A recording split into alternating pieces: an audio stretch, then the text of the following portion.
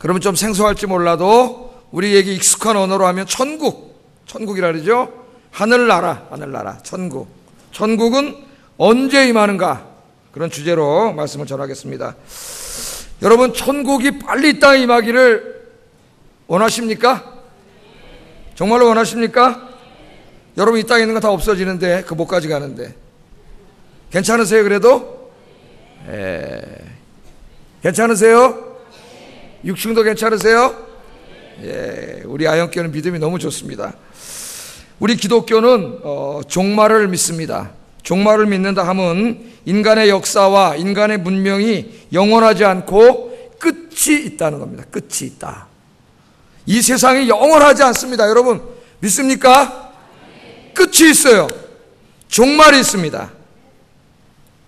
우리가 생각하기에 너무나 살기 좋은 이 세상 영원하지 않고 끝이 있음을 성경은 어, 가르쳐 줍니다. 우리의 인생이 영원하지 않은 것처럼 인간의 역사와 문명도 어, 영원하지 않습니다. 그런데 우리 기독교만 그것을 이야기하는 것이 아니라 요즘은 그 뜻있는 사람들이 다 인류의 조금 다른 의미에서 이야기하지만은 종말에 대해서 이야기합니다. 그러니까 인간의 역사가 영원하지 않고 곧 종말을 맞이할 것이다. 이 좀 공부했다고 하는 학자들이 그런 얘기를 많이 해요. 아, 최근에 과학자들, 사회학자들, 역사학자들, 미래학자들을 중심으로 인류 멸망에 관한 이야기가 아, 쏟아져 나오고 있습니다. 이 책들을 읽어보면은 한 다섯 가지 정도 가능성을 이야기합니다. 이 지구가 멸망한다 이거예요, 지구가. 근데 과학, 이 학자들이 한 얘기예요. 무슨 저 점쟁이가 한 얘기가 아니고 학자들이 한 얘기. 다섯 가지 정도를 이야기하는데 다섯 가지 정도의 가능성이 있다는 거예요. 첫째는 여기 나올 거예요, 이제. 예, 첫째는 에너지 문제 때문에 망할 거다. 에너지 고갈. 이 땅의 에너지는 제한되어 있는데 한 번 쓴 에너지는 엔트로피 법칙에 의해서 어떻게 해요? 다 에너지 쓰레기가 되지 않습니까? 아, 그러니까 자꾸 에너지는 제한되어 있는데 쓰다 보면 에너지가 고갈돼 가지고 어, 결국은 어떻게 된다는 거예요? 어, 종말을 구하게 된다는 거예요. 쉽게 얘기해서 여러분 석유가 펑펑 쏟아져 나오고 있는데 언젠가는 다 고갈되면 석유 없어질 거 아니에요. 석탄도 마찬가지고 이렇게 이해하면 되겠습니다. 또 어떤 사람들은 이 핵무기 확산을 어, 예로 듭니다. 핵무기 확산. 지금도 나라들이 앞다투어서 뭘 만들어? 핵무기를 만들지 않습니까? 핵무기, 그죠?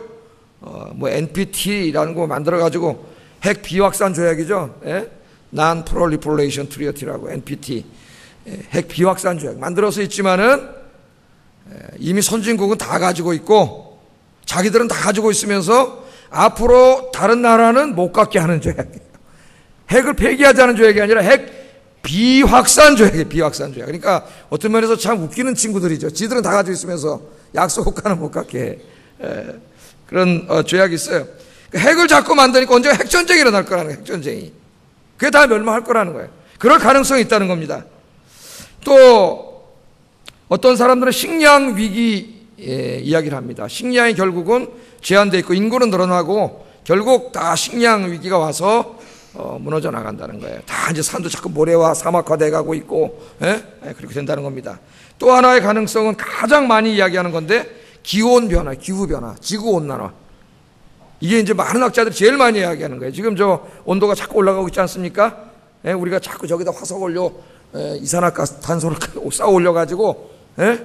자꾸 이 온실가스층을 두껍게 해 가지고 태양 복사에 도망 못 가게 함으로 여기가 뜨거워지는 거예요, 지구가. 그 남극이 높고 막 이래가지고 지구 온난화로 인한 기후 이상이 일어나가지고 지금도 기후 이상이 상당히 많이 일어나고 있죠. 결국 인류 종말이 올 거다. 이 가장 많은 사람들이 생각하는 것이고 또 어떤 사람들은 소행성의 충돌. 지금 막이 별들이 떠돌아, 떠돌아 댕기는데 어느 날 그 중에 하나가 지구를 향하여 그냥 샥 돌진해 와가지고 꽉 저는 자들이여 깰지어다. 꽉 해가지고 그냥 다 멸망한다는 거예요. 그 영화에 잘 나와요. 영화에 영화 지구 최후의 날 이런 거 보면 영화에 납니다. 이 정도 한 다섯 가지 정도의 가능성을 이야기합니다. 인류가 멸망할 거라 멸망할 거라는 거예요. 여러분이 조금 한번 관심 있는 분들은 이 책을 제가 세 권을 소개해드리겠습니다. 제레미 리프킨이라는 사람이 쓴 엔트로피 엔트로피. 아까 이제 에너지 고갈에 대해서 쓴 겁니다. 엔트로피. 또 앤서니 기든스라고 한 사람이 쓴 기후 변화의 정치학. 그다음에 제레드 다이아몬드가 쓴 문명의 붕괴 이런 책이 지금 잘 팔리고 있어요. 어, 이런 책들에서 이런 이야기들을 어, 하고 있는데 꼭 하나 읽어본 어, 여러분이 읽고 싶다면은 앤서니 기든스가 쓴 기후 변화의 정치학. 제가 이 책을 두 번 정독했습니다. 정독. 두 번이나 그 어, 정독을 했어요. 세계적인 학자이기 때문에 제가 두 번을 어, 정독을 했어요. 특히 저명한 과학자인 마틴 리스라고 하는 사람은 우리 최후의 세기에서 어쩌면 21세기가 우리가 생존하는 최후의 세기일지도 모른다고 심각하게 이야기했습니다. 과학자입니다, 과학자. 점쟁이가 아니에요. 과학자가. 우리가 살고 있는 이 21세기가 인류가 생존하는 마지막 세기일 가능성이 매우 높다는 겁니다. 매우 높다. 여러분, 그런 이야기 들으면 어때요? 무섭죠? 예? 무서워요, 안 무서워요? 예. 안 무서워요? 안 무서운 사람은 믿음이 좋은 사람이에요. 여러분, 인간의 역사는 하여튼 누가 말해도 종말이 있어요. 특별히 성경이 그것을 이야기하고 있습니다.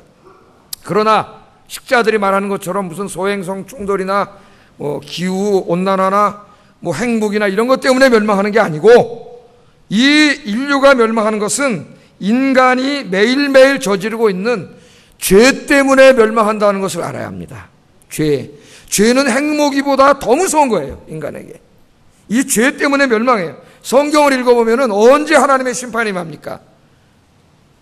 창세기 6장을 읽어보면 뭐라 그래요? 노아 시대 그때에 이 땅의 죄, 죄악이 어떻게 했다고요? 관영하였더라. 인간의 지은 그 죄악이 그 땅에 가득했어요.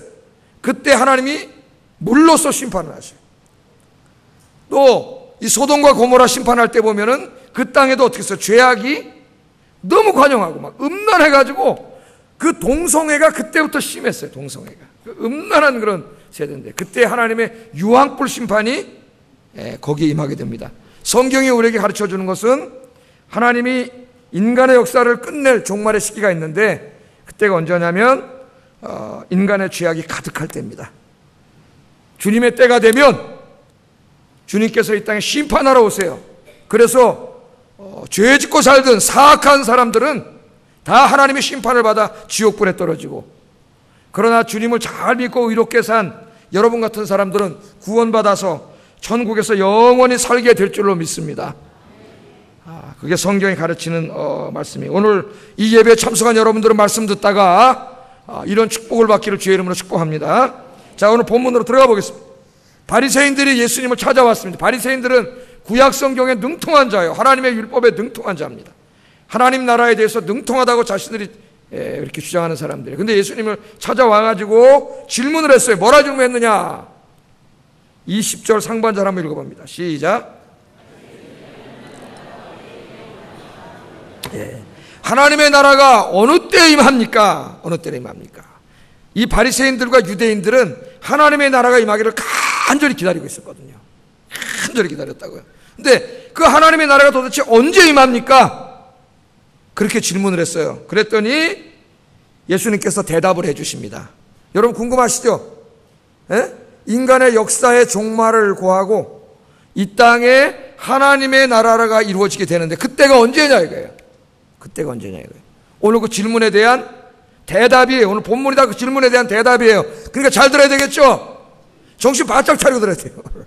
저를 딱 쳐다보세요. 막 째려보세요. 째려보셔도 됩니다. 에, 째려보세요. 막. 어, 잘 들으세요. 하나님 나라 언제 임합니까? 아, 근데 예수님이 대답을 해주셨어요. 언제 임한다? 얘기를 해주셨는데 두 가지 시제로 얘기를 해주셨어요. 두 가지 시제로. 하나님의 나라가 이미 임했다. 그렇게 말씀을 하셨고 또 어떤 의미에서는 아직 임하지 않았다. 우리가 기다려야 된다. 그렇게 현재와 미래 시제로 말씀을 하셨어요. 그래서 좀 알쏭달쏭합니다. 하나님의 나라가 이미 임했다고? 아니 하나님의 나라가 임하면 인간의 역사에 종말을 구한다 그랬는데 역사가 계속되고 있잖아요. 근데 하나님의 나라가 이미 임했다. 또 어떤 의미에서 하나님 나라를 우리가 기다려야 된다. 오늘 본문에 보면은 이렇게 두 가지 시제로 어, 이야기를 합니다. 제가 그림을 하나 탁 그려왔어요. 잘 보세요. 이렇게. 네. 자, 여기 보세요. 이 그림을. 자, 하나님의 나라는 결론부터 얘기하면 예수님께서 초림이라고 하는 것은 2000년 전에 이 땅에 오신 거죠. 어? 2000년 전에 하나님이신 그분이 인간의 몸을 입고 인간의 역사 속으로 들어오실 때 그 예수님과 함께 하나님의 나라가 이미 인간의 역사 속으로 침투해 들어왔어요. 영어로 break into 하나님의 나라가 천국이 인간의 역사 속으로 들어왔어요. 어, 생소할 거 이게 무슨 말인가? 좀 이따 제가 이제 설명을 해 드릴게요. 그래서 하나님의 나라는 이미 이 땅에 임했어요. 예수님과 함께. 그런데 아직 완전히 임하지 않았어요. 종말의 때, 예수님이 재림할 때에 예수님께서 하나님의 나라를 완전히 이 땅에 이루실 거예요. 아직 임했어요, 안 임했어요? 이런 의미에서는. 아직 임하지 않았어요. 주님이 재림하지 않았어요. 우리가 기다리고 있어요. 그래서 우리는 지금 하나님의 나라와 세상의 나라가 공존하는 시대에 살고 있습니다. 하나님의 백성과 사탄의 백성들이 어떻게 해요? 공존해요, 지금. 이 땅에 그렇죠? 어, 이 시간표를 이해하는 게 굉장히 중요해요. 그래야 왜 그리스도인도 고난을 당하는지, 그리스도인도 왜 질병을 당하는지, 그리스도인도 왜 암에 걸려 죽는지, 어, 이것을 우리가 이해할 수가 있어요. 시간이 굉장히 중요합니다. 하나님의 나라는 2000년 전에 예수님과 함께 이 땅에 이미 임했고, 그러나 아직 완전히 임하지 않았어요. 예수님께서 다시 오시는데 그때 하나님의 나라를 이 땅에 이루실 겁니다. 우리는 지금 그 사이에 살고 있어요. 그 사이에. 그래서 지금은 알곡과 가라지가 어떻게 있어요? 섞여 있는 시대예요. 섞여 있는 시대. 예, 섞여 있는 시대입니다. 자, 그럼 이게 무슨 말인가? 우리 좀 말씀을 가지고 한번 좀 공부를 해보겠습니다. 자, 예수님이 하나님 나라가 언제 임합니까? 그러니까 이렇게 대답을 해주셨습니다. 20절 하반절 21절 같이 읽어보겠습니다. 시작.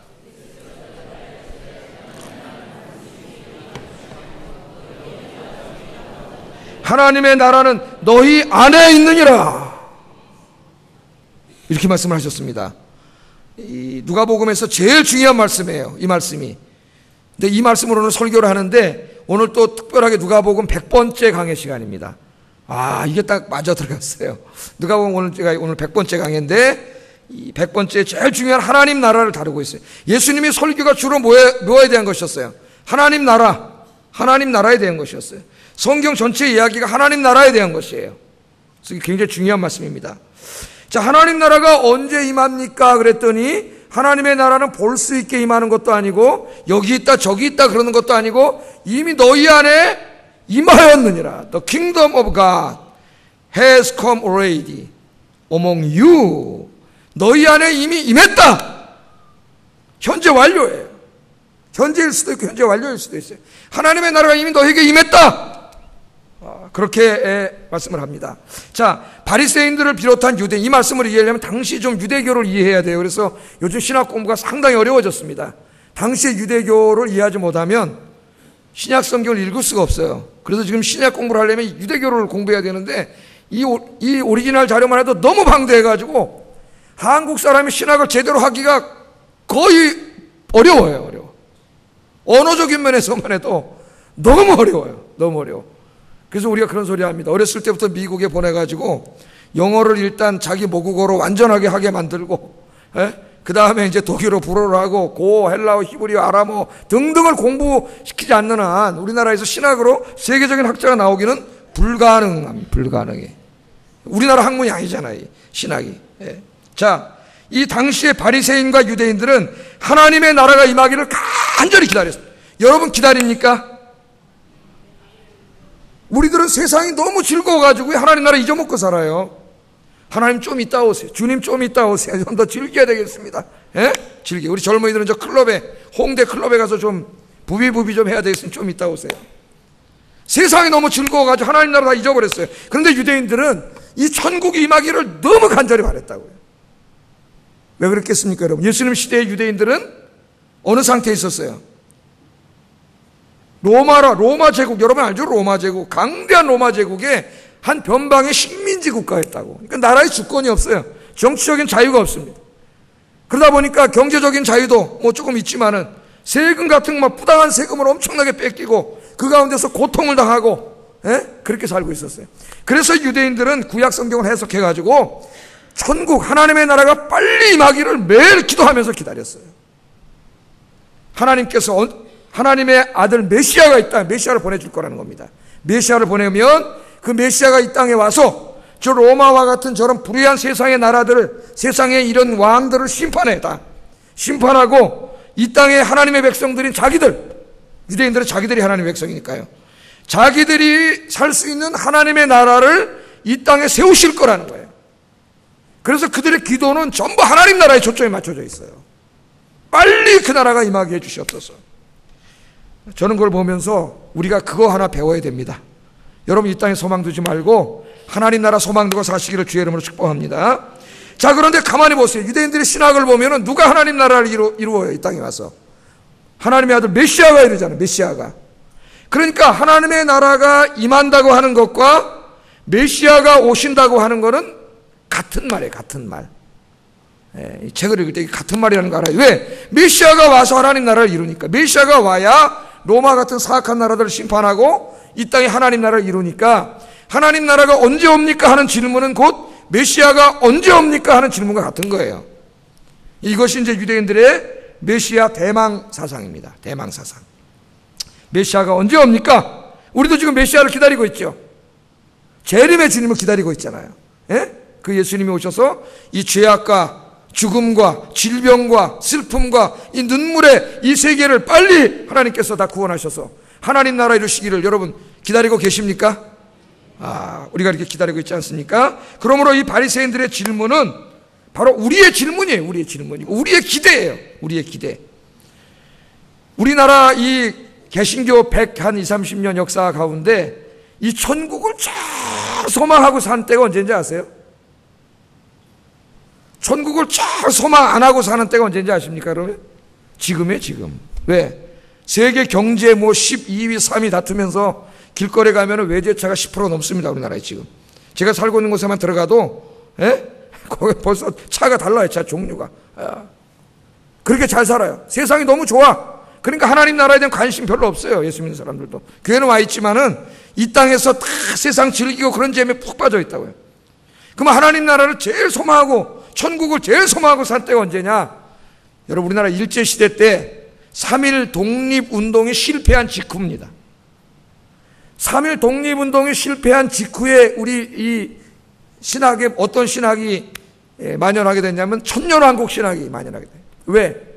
3일 운동하고 금방 해방될 줄 알았거든요. 그런데 일본 놈들이 와가지고 총 쏴가지고 이 비폭력 무정하는 사람들이 총을 쏴가지고 다 죽여가지고 진압했잖아요. 그래서 절망에 빠져버렸어요. 해방이 올 줄 알았는데 이 땅에 소망이 없어. 일본에게 나라 뺏기고 독립운동은 좌절되고 그러니까 모든 관심이 어디로 갔어요? 하나님 나라로 갔어요. 천국으로 갔어요. 그래서 여러분 우리 인생을 살아가는데 우리에게 때로는 고난이 오고 역경이 오고 그런데 그게 꼭 나쁜 게 아니에요. 왜냐하면 그때 우리는 어디를 더 소망하게 돼요? 예, 하나님 나라를 더 소망하게 돼요. 하나님 나라를. 그래서 그때는 하여튼 구름만 좀 이상하게 끼워도 혹시 우리 예수님 하나님 나라를 가지고 오시는가 해가지고 버선발로 뛰어나갔다니까요. 우리 할머님들이. 그런데 그래서 주님 고대가라는 찬송도 만들었죠. 16절까지인가 뭐 그렇게 있어요. 행여나무 구름이 멀라 뭐다 까먹었네 나도 혹시 내 주님 오시는가 해 그러면서 그렇게 그 나라를 갈망했다고요. 아, 저는 그 신앙을 좀 회복했으면 좋겠습니다. 이 땅에 대한 너무 그 어, 욕심과 욕망과 이런 거좀 어, 여러분 접고 하나님의 나라 우리가 영원히 살 천국 소망하며 사시기를 주의 이름으로 축복합니다. 자, 그런데 오늘 예수님 뭐라 그러냐면은 그 하나님의 나라가 너희 안에 이미 임했다. 임했다는 거예요. 어디 임했어요, 하나님의 나라가? 이 무슨 말일까요, 여러분? 하나님의 나라가 이미 너희 안에 임했다. 이 말씀이 아주 중요한 말씀입니다. 그래서 이 신학적으로 굉장히 활발하게 토론이 되고 있고, 어, 하여튼 학자라고 생긴 학자는 한마디씩 다 주장을 하는데, 아직까지 이 의견의 일치를 보지 못하고 있어요. consensus가 이루어지지 않을 정도로 굉장히 이 복잡한 신학적인 문제가 여기에 담겨져 있어요. 뭐 신학교라면 제가 오늘 다 이걸 뭐 하나하나 이런 주장도 있고 저런 주장도 있고 그렇게 얘기를 하겠는데 오늘 우리 교회 짧은 설교 시간에 뭐 교회 그럴 필요는 없는 것 같습니다. 한 가지만 보면 너희 안에 있다 그러니까 어떤 사람이 이거를 우리 안에 내 마음에 그러니까 내 마음의 천국 물론 예수 믿으면 마음의 천국이 이루어지지만 오늘 본문 그걸 말하지 않아요. 왜 그럴까요? 이 질문을 누가 했어요 지금? 성경 잘 읽어보세요. 질문을 누가 했어요? 바리새인이 했잖아요. 바리새인이 질문했는데 네 안에 하나님의 네 마음 안에 하나님 나라가 임했다? 말이 돼요 안 돼요? 바리새인은 예수님 안 믿는 사람들인데 그러니까 그 말은 이 본문에 맞지 않는 해석이에요. 결론적으로 결론부터 말하면 이 말은 뭐냐면은 하나님의 나라가 너희 안에 있다고 한 것은 바로 하나님의 나라가 너희 안에 있다. 그건 바로 예수님 자신을 가리켜 한 말이에요. 예수님 자신. 옛날에 유대인들은 토론을 할 때 우리처럼 이렇게 한 사람이 앉고 여러분처럼 이렇게 앉아가지고 이렇게 한 게 아니고 이 토론자를 가운데 세워놓고 나머지가 삥 둘러섰다고요. 예? 한 사람이 가운데 있고 삥 둘러섰어요. 그러니까 예수님이 지금 가운데 계시고 유대인들이 삥 둘러서 있는 거죠. 그 바리새인들이 질문을 던진 거예요. 하나님의 나라가 예? 언제 임합니까? 그랬더니 하나님 나라는 볼 수 있게 임하는 게 아니 여기 있다 저기 있다 하는 게 아니라 하나님의 나라 이미 너희들 안에 있다. 그러니까 누구예요? 너희들 둘러싸고 있잖아요. 둘러싸고 있는 너희들 안에 있는 바로 내가 하나님 나라다 그 말이야. 예수 그리스도 자신을 가리키는 거예요. 자, 이 무슨 말이냐? 예수님께서 이 땅에 이 땅에 죄악을 심판하시고 영원한 하나님 나라를 세우시기 전에 천국을 세우시기 전에 예? 모든 사악한 자들을 심판해서 지옥에 보내고 이 땅에 천국을 세우시기 전에 예수님께서 2000년 전에 인간의 몸을 입고 이 땅에 오셨어요. 그것이 바로 하나님의 나라가 이 땅에 이미 들어온 거예요. 왕이신 주님이 이 땅에 오셨어요. 왜 오셨나요? 한번 생각을 해보세요. 하나님 나라가 완전히 임하면 하나님의 심판이 이루어집니다. 죄 문제를 해결하지 못한 모든 사람은 죄악, 자기 죄로 심판받아서 지옥에 가게. 그럼 하나님 나라가 왔는데 하나님 나라에 들어가 살 사람이 없어요. 왜? 의인은 없나니 하나도 없다 그랬습니다. 모든 사람이 죄를 범하였음에 하나님의 영광이 이르지 못하더니 우리는 다 죄인이에요. 인간은. 그래서 그 하나님 나라가 임할 때 하나님의 심판이 동시에 임하는데 그 하나님의 심판을 벗어날 자가 없어요. 우린 다 죄 때문에 하나님 심판받아서 지옥 갈 처지들이에요. 그래서 하나님 나라를 이 땅에 완전히 이루기 전에 예수님께서 2000년 전에 먼저 오신 거예요. 뭘 하려고? 이 죄의 문제를 해결하려고 오신 거예요. 할렐루야. 죄의 문제를 우리의 죄의 문제를 해결해 주지 않으면 우리가 하나님 나라에서 못 살아 지옥 가요. 여러분 심판을 받아서 이 죄의 문제를 해결하, 해결해야 돼요. 그래서 예수님이 오신 거예요. 25절 한번 읽어보겠습니다. 25절 시작. 아멘. 하나님 나라가 종말에 임할 거라고 얘기하면서 예수님 뭐라 그러냐면은 그러나 내가 먼저 많은 고난을 받으며 이 세대에게 버림바 되는 일이 먼저 있어야 될 거다. 뭐 제가 해설 안 해도 여러분 알겠죠? 예수님의 십자가 죽음을 이야기하는 거죠. 그러니까 예수님께서 이 땅에 오셔서 우리 인류의 모든 죄악을 다 어떻게 했어요? 어깨 위에 짊어지시고 우리 대신 십자가에서 형벌당하신 거예요. 그러므로 하나님께서는 우리 인류의 죄를 다 용서해 주셨습니다. 그런데 이 죄는 그냥 자동적으로 용서받는 게 아니에요. 바로 그 2000년 전에 오신 예수님이 하나님의 아들이요.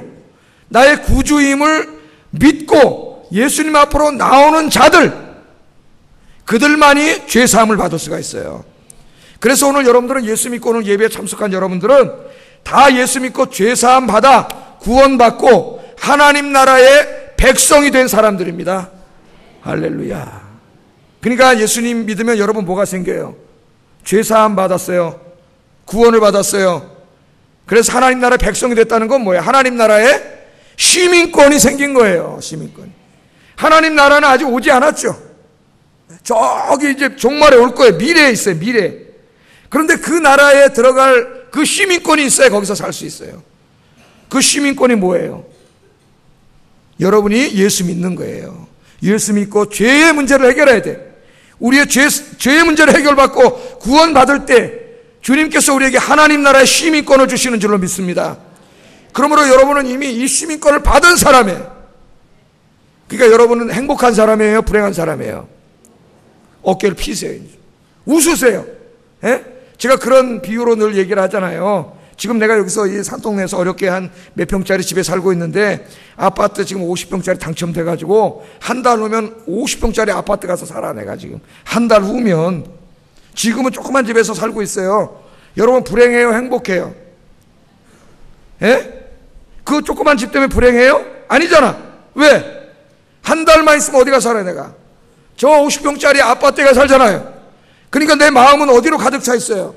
50평짜리 아파트로 가득 차 있잖아요. 예? 그 행복하잖아요. 그거 바라보면서. 똑같아요, 여러분. 이 땅에서 좀 뭐 아플 수도 있고 병들 수도 있고 없을 수도 있고 그렇지만 여러분 죄사함 받아서 이미 아파트 당첨권 받은 사람인 줄로 믿습니다. 그 천국이 보장되어 있는 사람들이에요. 예? 여러분들 감사하시고 찬송하시고 예배하시고 그렇게 사시기를 주의 이름으로 축복합니다. 그러나 예수님 믿지 않는 사람은 죄의 문제를 해결받지 못했기 때문에 시민권이 없어요. 하나님 나라에. 그래서 하나님 나라 가지 못하고 지옥에 가게 돼요. 사도 바울이 뭐라 그랬어요? 우리의 시민권은 하늘에 있는지라. 아멘. 왜 여러분 이 땅의 시민처럼 이 땅의 문제 코박고 그렇게 사십니까? 이 땅 것, 이 땅에 있는 것 때문에 절망하고 좌절하고 좀 있다고 교만하고 왜 그렇게 사세요? 그건 잠깐 있다 없어질 것들인데 아무것도 아닌데 똥 같은 것들인데 뭘 좀 가졌다고 배웠다고 교만하고 머리 빳빳하게 들고 얼마나 한심한 사람이에요 이 사람들이 여러분들 오직 천국 바라보시고 감사하시기 바랍니다 그런데 그런데 이 지금 우리가 시민권을 가졌어요. 지금은 이 땅의 죄악 세상에 살아. 여전히 우리도 고통 속에 살아. 어떨 때는 우리도 병도 들어요. 그죠? 고통으로부터 자유롭지 않아요. 아직 하나님 나라가 완전히 임하지 않았기 때문에. 그러나 우린 종말에 임할 하나님 나라에서 영원히 살 시민권을 가진 사람이에요. 그러나 그 종말의 축복이 미래에만 있는 게 아니에요. 그 미래에 들어가게 될 하나님 나라의 축복을 하나님은 지금 여기서 누리게 하셨어요. 지금 여기서도 성령 안에서 누리게 하셨어요. 로마서 14장 17절 읽어보겠습니다. 시작. 의와 평강과 희락이라 아멘. 하나님의 나라는 먹고 마시고 지지고 볶고 뭐 집 짓고 부시고 살고 이 땅에 속한 게 아니에요. 하나님의 나라는 어떻게 한다고요? 잘 보세요, 말씀을. 성령 안에 있는, 여러분이 예수님 믿으면 여러분 안에 누가 찾아오세요? 하나님의 영이신 성령님이 찾아오실 때 빈손으로 찾아오는 게 아니라, 여러분 이사 가면은 손님들이 찾아올 때 뭐 갖고 와요? 선물 갖고 오잖아. 선물도 안 갖고 왔다고 시험 들지 말고. 선물 갖고 오잖아요. 근데 성령님께서 오실 때 그냥 빈손으로 오시는 게 아니라, 우리가 저 미래에 누리게 될 천국의 축복의 선물을 가지고 여러분에게 찾아오세요. 여러분에게. 그 선물이 뭐예요? 여기 의와 의는 시민권이에요. 그 다음 우리가 누리는 게 뭐예요? 평강과 기쁨이라고. 평강과 기쁨. 그래서 여러분이 정말 하나님을 믿 으, 면 여러분의 마음속에 하늘의 평강과 기쁨이 가득해져요. 이 평강은 세상이 주는 게 아니에요. 예수님 뭐라 그랬어요? 내가 너에게 평안을 주노니 내가 너희에게 주는 평안은 세상이 주는 것과 같지 않다. 그랬죠. 이건 하늘에 속한 거예요. 하나님 나라에 속한 거예요. 이 평강과 기쁨이 여러분에게 임하면 여러분 인생의 모든 문제가 해결됩니다. 그림을 하나 그래. 그림 제가 딱 그려왔어요. 야, 이것도 그림이 예, 제 비서가 잘 그려줬어요. 기가 막히게. 이거 잘 보세요. 이거 지금 종말의 하나님 나라는 아직 임하지 않았죠? 우리가 기다리고 있어요, 지금. 예? 기다리고 있어요. 그런데 우리는 지금 이, 이 고난의 이 죄와 죽음과 고통의 세상에 살고 있어요. 우리도 자유롭지 못해요, 여기서. 예? 그런데 안 믿는 사람하고 뭐가 달라요, 우린 그러면? 우리 마음속에 누가 찾아오세요? 성령님이 찾아오실 때 빈손으로 안 오고 종말의 하나님 나라에 있는 기쁨과 평강을 가지고 누구에게? 나에게! 나에게. 찾아오세요. 그래서 예수 믿고 정말 하나님 만난 사람은 너무 기쁘고 마음이 평안해요. 할렐루야. 제가 늘 강조하지만 저는 이 기쁨과 평강을 제일 많이 느낄 때가 새벽 기도할 때입니다. 새벽에 주님 앞에 무릎 꿇고 기도할 때 설교하고 이제 뒤에 앉아가지고 하나님 좋았습니다. 요새는 한 30분 전에 나와요. 4시 반쯤 나와서 한 30분 기도하고 이제 설교를 시작하는데 그 와서 하나님 좋았습니다. 인사를 꼭 합니다. 제가 안녕하십니까 하나님 좋았습니다. 아침에 여러분들 새벽에 좀 나오세요. 새벽에 너무 많이 안 나와. 내 지금 강제로 나오게 하려고 지금 계획 세우고 있어요. 기대하세요, 앞으로 좀. 새벽에 나와서 기도하세요. 기도하면은 그 말할 수 없는 평강과 기쁨이 싹 오는데 그때 스트레스, 안 그러면 저 스트레스로 죽었을 거예요. 성질이 급한 사람이라서. 벌써 쓰러졌을 거예요, 아마. 그런 게 싹 없어져. 이거 정신과 의사가 그렇게 해줄 수 있을 것 같아요? 심리학자가 그렇게 해줄 수 있을 것 같아요? 어디 가서 그렇게 해줘요? 우리를 치료하시는 여호와 라파의 하나님만이 그렇게 하실 줄 믿습니다. 성령님이 가져오시는 그러니까 내가 말하고 싶은 게 뭐냐? 어떤 사람 교회 다니면서 너무 어리석어. 이 기쁨과 평강을 자꾸 얻으려고 행복해져 보려고 자꾸 그게 돈이 돈이 주는 줄 알고 돈 벌러 나가. 아, 돈 벌지 말란 얘기가 아니에요. 직장 생활 해야 돼요 여러분 다.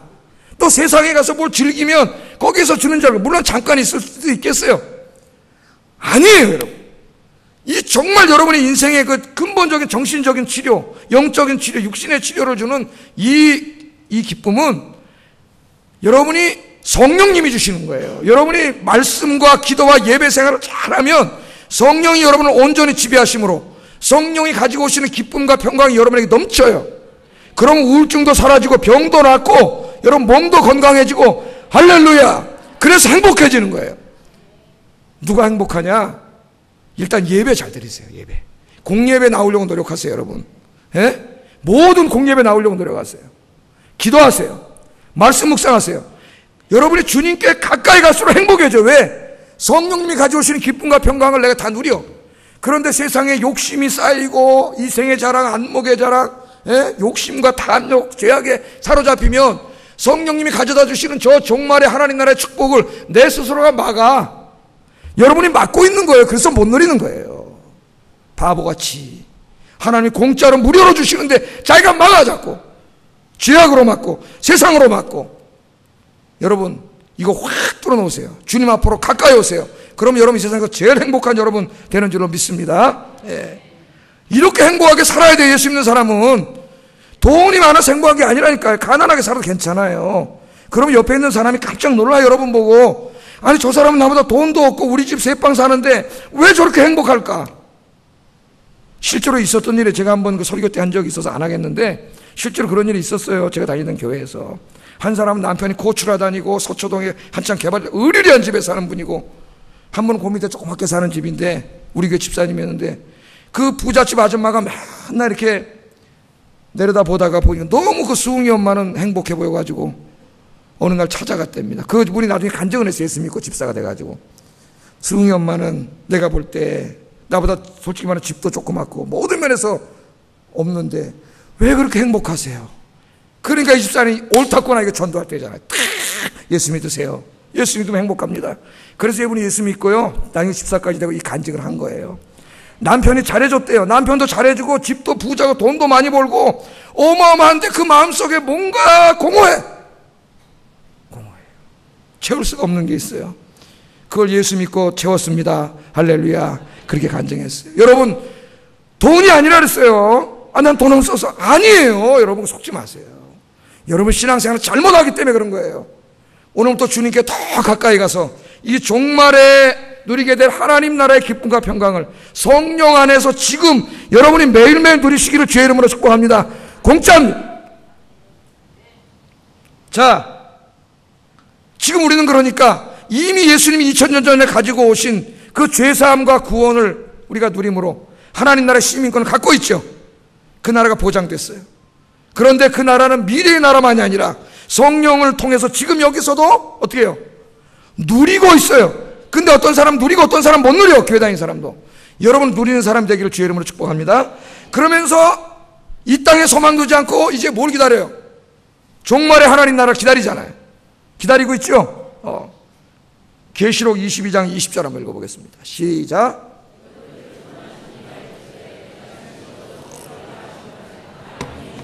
어서 오시옵소서. 예수님께서 2000년 전에 죽으시고 부활하시고 승천하신 다음에 다시 오신다고 약속하셨어요. 다시 오심이 뭘 말하느냐? 이제 다시 오실 때는 2000년 전하고 다릅니다. 은밀하게 오시지 않아요. 온 우주의 왕으로서 오세요. 심판자로 오셔가지고 끝까지 회개하지 않은 자들 어마어마한 무서운 심판이 있어요. 지옥불로 떨어져요. 그리고 여러분처럼 예수 잘 믿는 사람들은 구원하시기 위해서 오셔요. 이 땅에 하나님 나라 천국을 이루시고 여러분 거기 살게 하세요. 계시록 21장 1절에서 4절 같이 읽어보겠습니다. 시작.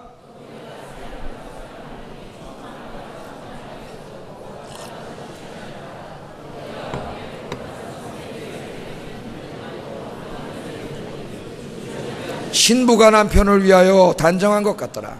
내가 들으니 보좌에서 큰 음성이 나서 이르되 보라 하나님의 장막이 사람들과 함께 있음에 하나님이 그들과 함께 계시리니 그들은 하나님의 백성이 되고 하나님은 친히 그들과 함께 계셔서. 그 다음 중요합니다. 모든 눈물을 그 눈에서 닦아 주시니 다시는 사망이 없고 애통하는 것이나 곡하는 것이나 아픈 것이 다시 있지 아니하리니 처음 것들이 다 지나갔음이로라. 아멘. 여러분 죽음도 없고 질병도 없고 고통도 없고 슬픔도 없는 그런 곳이 있다면 거기에 이민 가시겠습니까? 가시겠습니까? 안 가시겠습니까? 예, 그런 나라가 저기 있어요. 그런 곳이 있다면 아마 이 땅의 부자들은 몇천억 줘도 다 갈 겁니다. 저희가 살 거예요, 아마. 왜? 죽음이 없고, 질병이 없고, 고통이 없고, 슬픔이 없고, 이 나라가 지금 준비되어 있어요. 누구를 위해서? 여러분을 위해서. 우리 예수님 다시 오실 때 이 나라에서 여러분을 살게 하실 줄로 믿습니다. 그러니까 이제 우리는 이 나라를 소망하면서 사는 이 땅이 아니고 이 심판받아 없어질 땅이 아니고 이 죄악의 땅이 아니라 주님이 가져오실 그 나라를 소망하며 산다 이거예요. 소망하면서. 그게 우리의 소망이에요. 소망. 아셨죠? 이제 눈을 좀 하늘로 뜨세요. 좀딱 맞춰다 보지 말. 이게 소망이에요. 그런데 그래서 우리가 지금도 기다려요. 누구를? 다시 오실 주님을 기다리고 있는데 예수님 말씀하십니다. 기다리는 동안에 나쁜 놈들이 나타난대요. 나쁜 놈들이. 누가 이단들이 이단들. 지가 재림 예수라고 거짓말 치는 이단들이 나타난대요. 그러니까 조심해야 돼요. 22절 23절 읽어 봅니다. 시작. 너희가 인자의 날 하루를 보고자 하되 보지 못하리라. 사람이 너희에게 말하되 보라 저기 있다. 보라 여기 있다 하리리. 그러나 너희는 가지도 말고 따르지도 말라. 자, 우리 주님 나라 기다리고 있어요. 주님이 오시길 기다리고 있는데 마지막 때가 되면 어떤 자들이 나타난다고? 지가 재림 예수라는 지가. 예? 내가 재림 예수다 하는 사람이 지금 우리나라만 해도 몇십 명이 돼요. 이단이잖아요. 통일교 뭐 또 신천지 지금 신천지는 지방을 중심으로 이 교회로 침투해가지고 교회가 난리가 아니에요. 그래서 지금 우리 총회에서도 계속 목사님들에게 개교회 목사님들에게 이 종말론에 대해서 제발 좀 잘 가르쳐 주세요. 이게 지금 우리 교단의 주문입니다. 목, 목회자들에게. 예? 여러분 잘 배우세요. 또 이 21장에 가면은 이 종말론을 또 상세하게 다루게 돼요. 누가복음 21장에 여러분 잘 들어야 돼요. 그런 자들이 많아요. 내가 재림 예수라는 거예요. 그럼 어떻게 돼요? 맞는 말이에요? 틀린 말이에요? 내가 재림 예수라고 하는 사람은 그 말 자체가 이미 나는 이단입니다 하는 거랑 똑같아. 왠지 아세요? 그 다음에 24절을 읽어보세요. 24절. 성경만 잘 읽어도 설교만 잘 들어도 절대 이단에 안 빠져요. 지금 이단에 빠진 사람 다 교회 댕기던 사람들이니까요. 설교 시간에 졸고 성경 공부하라면 안 하고 그럼 이 사람 이단에 빠지지 뭐 안 빠지겠어요? 24절 읽어보겠습니다. 시작.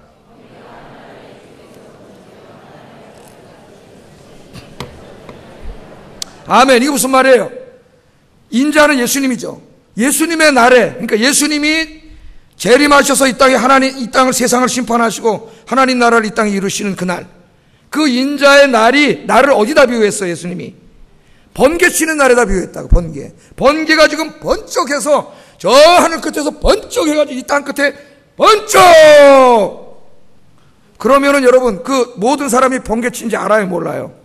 다 알잖아요. 지금 그 말에 예수님이 인자의 날도 이와 같으리라는 2000년 전에는 아무도 모르게 말구 위에 은밀하게 오셨지만 이제 다시 재림하실 때는 이 지구뿐만 아니라 온 우주에 살고 있는 뭐 사는지 안, 살, 안 살겠지만 모든 피조물들이 전부 볼 수 있고 알 수 있게끔 그렇게 오신다는 거예요. 할렐루야. 그럼 지가 예수인데 우리는 왜 몰라? 다 알아야 되잖아요. 그러니까 벌써 내가 예수다 그런 사람은 볼 것도 없이 이단이에요. 이단. 네. 또 한번 봅시다. 37절 읽어보겠습니다. 시작. 죽어 믿는 곳에는 독수리가 모이느니라 하시느니라. 또 이 사람들이 물어봅니다. 이번에 제자들이 물어봤어요. 그러면은 그 하나님의 나라가 어디, 어디 임합니까? 아, 이게 또 바보 같은, 이제 공부를 안 해가지고 이렇게 하는 거예요. 어디 임합니까? 그러니까 예수님 뭐라 그랬어요? 아, 또 비유로 말씀을 하셨어요. 죽음이 있는 곳에는 독수리가 모이느니라. 이게 무슨 말이에요? 여러분 독수리 떼가 싹 모여가지고 하늘에 쫙 모이면 그 밑에 뭐가 있을까요? 아 시체가 있잖아 딱 알잖아요. 에? 독수리 떼가 모이면 거기 시체가 있잖아. 그게 무슨 말이에요? 독수리 떼가 있으면 시체가 있는 거 아는 것처럼 인자의 날도 어떻게 해요? 모든 피조물들이 다 알게끔 임하고 그 장소는 무슨 이스라엘 요만한 장소에 오는 게 아니라 모든 사람이 살고 있는 모든 장소에 하나님이 창조하신 이 우주에 다 임한다 이거예요. 할렐루야. 그러니까 내가 재림 예수라는 사람은 뭐예요? 벌써 그 말 자체가 어리석은 주장이에요. 나는 나는 거짓말입니다. 나는 이단입니다. 그런 말이라고. 근데 거기 넘어가니 얼마나 안심해요, 이거. 누가복음 21장 35절 미리 한번 읽어 보겠습니다. 다음에 공부하겠지만은 같이 읽어 보겠습니다. 시작. 모든 사람에게 이 말이라. 아멘. 아셨죠? 지구상에 거하는 모든 사람에게 거하는 거예요. 모든 사람이 하는 거예요. 주님이 오시면 모든 사람이 다 하는 거예요. 그리고 인간의 역사는 끝이에요. 끝. 이렇게 지속되지 않아요. 주님이 오시면 이 죄악 세상을 심판받고 여기 하나님의 천국이 이루어져서 심판받은 사람은 지옥에 하나님의 백성들은 하나님의 나라에서 영원히 살게 되는 거예요. 근데 역사가 계속되고 있잖아요. 주님이 오신 게 아니에요. 아셨죠? 요것만 알아도 이단에 절대 안 빠져요. 절대. 자, 그렇다면 언제 오십니까? 궁금하잖아요. 언제? 우리 예수님 언제 오세요? 언제? 요새 자기가 그 날짜를 또 안다고 주장하는 사람들이 많이 나타나고 있습니다. 그 날짜를 언제인지 안 돼요. 몇 년도. 2014년 1월 7일. 어, 얼마 안 남았네? 예? 지난번에 한번 1992년 10월 20 며칠 날 온다 그래갖고 난리가 난 적이 있었는데, 자, 예수님 뭐라 그랬는지 가르쳐 주셨어요, 예수님이. 마태복음 24장 36절 읽어봅니다. 시작.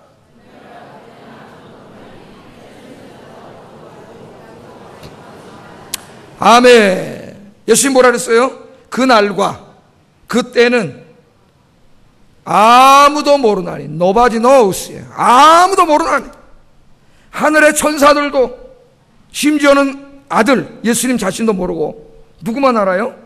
오직 하나님만 아시느니라. 근데 지가 안 되네, 안 돼. 그럼 그 사람 벌써 안다고 하고 맨날 며칠이라고 얘기한 사람 벌써 뭐예요? 아, 이단이잖아요. 그러니까 성경 한 구절만 알아도 절대 안 빠져요. 예? 하나님밖에 모른다 그랬는데 자기가 안 되는 사람은 벌써 이단이잖아요. 그러니까 뭐 심각하게 책 다 읽을 것도 없어요. 예? 금방 이단이잖아요, 그 사람은. 그날은 몰라, 언제 올지 몰라요. 그러나 반드시 그날이 오고 갑자기 온다 그래서 갑자기. 34절 35절 읽어봅니다. 시작.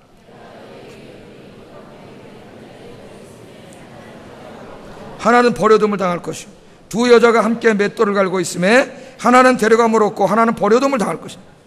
그러니까 이 어떤 사람 지금 잠자고 있고 어떤 사람 맷돌 갈고 있고 그러는데 우리가 잠자고 있을 때 오실 수도 있고 맷돌 갈 때 오실 수도 있다는 거예요. 그게 뭐예요? 잠잔다는 말은 우리가 하루 일과를 끝내고 집에 들어와서 가족들과 함께 쉬고 있을 그때 예수님께서 오실 수도 있고 맷돌 간다는 건뭐 여러분 직장이나 사회 시장에 나가가지고 여러분의 일을 열심히 하고 있을 그때에 예수님 오실 수도 있다는 거예요. 그러니까 언제 오실지 모른다는 거예요. 갑자기 오신다는 게 갑자기. 오늘 예배 중에 오실 수도 있고 오늘 밤에 오실 수도 있고 성경 제일 마지막 요한계시록 끝에는 아멘 주 예수여 어서 오시옵소서 여러분 그렇습니까? 아멘도 별로 안 해. 그렇습니까? 예. 어서 오시옵소서. 예? 갑자기 오는 거예요. 그런데 여기 심각한 게 있어요. 두 사람이 잠을 자는데 한 사람은 들려 올라가고 한 사람은 남아. 한 사람은 구원받고 한 사람 남아서 하나님이 무서운 심판을 받는다는 얘기. 함께 잠을 자는 건 가족이잖아요. 한 가족 안에 이런 일이 벌어질 수 있다는 거예요. 그러면 안 되겠죠, 여러분. 오늘 밤에 주님이 오시는데 여러분 가족 중에 믿지 않는 자가 있어가지고 여러분은 구원받는데 여러분 사랑하는 가족은 여러분 심판을 받으면 어떻게 되겠어요? 맷돌 갈다가 한 사람 들려올라고 한 사람 남아 여러분 친구들 직장 동료들 이웃들 에? 예?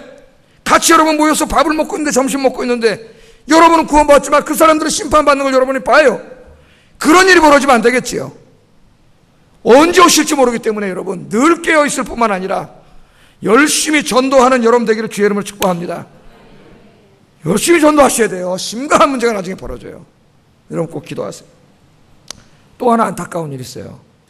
이렇게 예수님께서 이제 영원한 하나님 나라를 가져오시겠다고 말씀하시는데 거기에는 관심 없고 그걸 무시하고 오직 이 땅에 돈 벌고 집 짓고 먹고 마시고 팔고 사고 시집가고 장가하고 쾌락을 즐기고 여기에만 미쳐 있다는 거예요 사람들이 하나님 나라에는 관심이 없고 그런데 심지어는 교회 댕기는 사람들도 그런다는 거예요. 26절 30절 읽어보겠습니다. 26, 30절. 시작.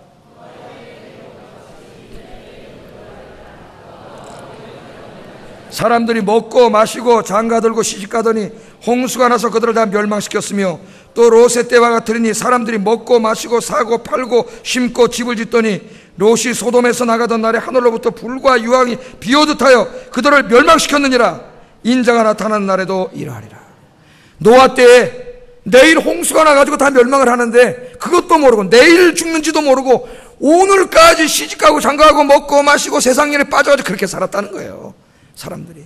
그런데 마지막 때에 교회 댕긴되는 사람들도 그렇다는 거예요. 하나님의 심판과 하나님 나라 이게 지금 언제 임할지 모르는데 정신없이 세상에만 아, 몰두하고 산다는 거예요. 소돔과 고모라도 마찬가지죠. 예? 유황불 심판 하나님이 유황불을 가지고 심판의 천사들이 머리 위에 와 있는데 이 어리석은 인간들이 그것도 깨닫지 못하고 밑에서 사고 팔고 먹고 마시고 집고 이러고 살았다는 거예요. 여러분 오해하지 마세요. 이거 잘못 이해해가지고 어떤 이단들은 주님이 오신다 그러니까 세상일 다 내비 핑계치고 직장도 때려치고 가서 기도만 해야 된다. 옛날에 그랬죠. 이러라는 말이 아니에요. 우리는 맷돌을 갈다가 주님을 영접할 수도 있고 자다가 영접할 수도 있어요. 이게 뭐예요? 주님이 언제 오실지 모르기 때문에 우리는 항상 우리에게 주어진 자리에서 주어진 일에 최선을 다해야 됩니다. 할렐루야. 내 직장 나가서 여러분 열심히 일해야 되고 최선을 다해야 돼요. 그때 주님이 오세요. 그걸 하지 말란 얘기가 아니에요. 하나님 나라 다 잊어먹고 천국 다 잊어먹고 하나님 관심도 없고 이 땅에 돈, 권력, 집 짓고 모으고 즐기고 이런 데만 관심을 가지고 교회 다니면서도 주일에 달랑 한번 예배 드리고 매일 이렇게 살아가는 이런 사람들을 말하는 이런 사람들. 그렇게 하지 말라는 거예요. 또 31절 33절 읽어봅니다. 시작.